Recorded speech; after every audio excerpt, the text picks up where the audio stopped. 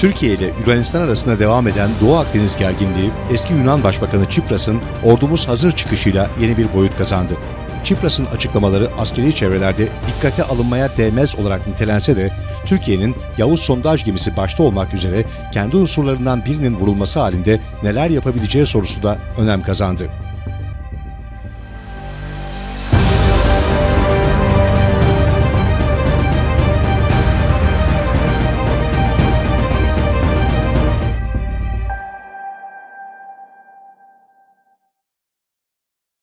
Türkiye'nin Doğu Akdeniz'deki egemenlik haklarını her ne pahasına olursa olsun koruyacağını açıklaması ve bu açıklamalarını Yavuz, Fatih, Barbaros gibi sondaj ve araştırma gemilerini bölgeye göndererek kararlılığını göstermesi yeni bir süreç başlattı. Bölgede kendi başına bir şey yapamayan ve ABD, İsrail, İtalya, Mısır gibi ülkelerle yaptığı ortaklıklar üzerinden Türkiye'yi sıkıştırmaya çalışan Yunanistan, son dönemlerde tansiyonu daha da yükselten açıklamalar yapıyor. Yunanistan'ın eski başbakanı Çipras'ın Yunan ordusu hazır bir şekilde bekliyor açıklaması gözleri bir kez daha bölgeye çevirdi. Savunma politikası analisti Turan Oğuz da Yunanistan'ın bu tutumunun ne kadar gerçekçi olduğu ve Türkiye'nin tek bir askerini dahi riske etmeden atabileceği muhtemel adımları konuştuk.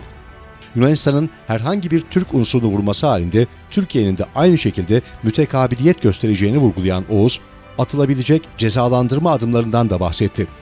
Oğuz bu tür ceza adımlarının taktik üstünlük anlamına geleceği, kesinlikle kalıcı stratejik üstünlük sağlamayacağına veya tek başına savaşı kazanmak için yeterli olmayacağına dikkati çekerek teorik adımları şöyle anlattı. 1. İlk olarak kendi sınırlarımızın içinden azami 120 kilometre menzilli topçu roket ve füzelerini kullanabiliriz.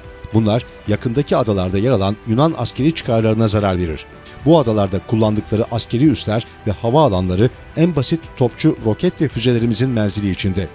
Yine atış sarfına bağlı olmak üzere azami 100-110 kilometre menzile sahip savaş uçaklarından atılabilen kanatlı güdüm kitlerimiz KGK'lar mevcut.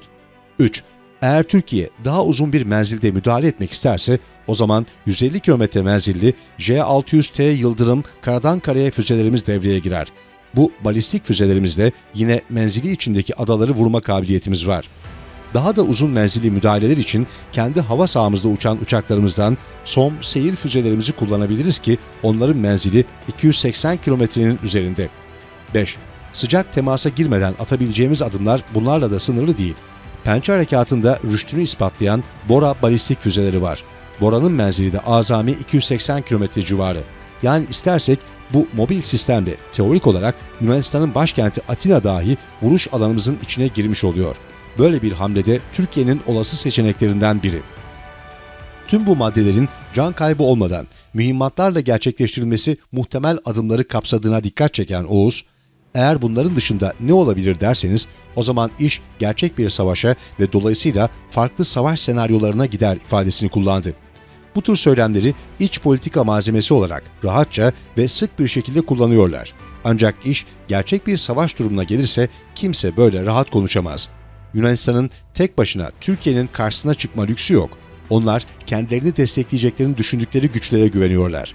ABD, Fransa, İsrail, Mısır, İtalya gibi ülkelerle Doğu Akdeniz'deki gelişmeler vasıtasıyla işbirlikleri kurdular.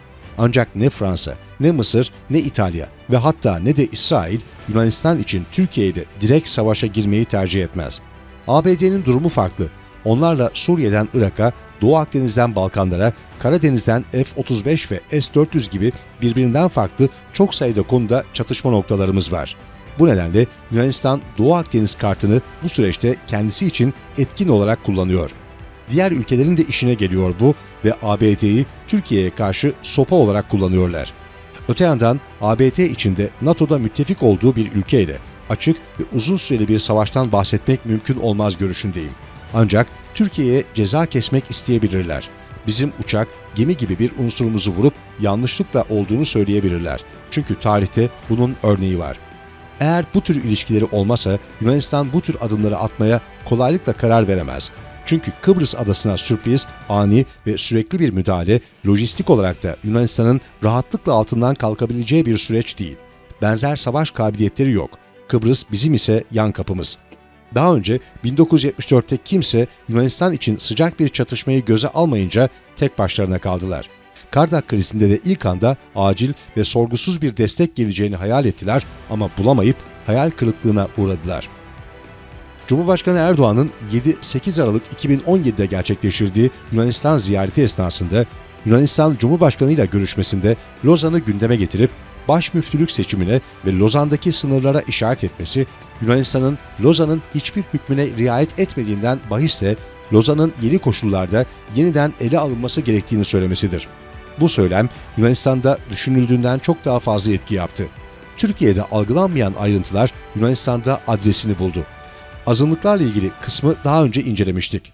Yunanistan, Erdoğan'ın sınırlarla ilgili vurgusundan rahatsızlık duydu ve Ege'deki sınırları değiştirmek istediği söylemi Yunan basınında yer aldı.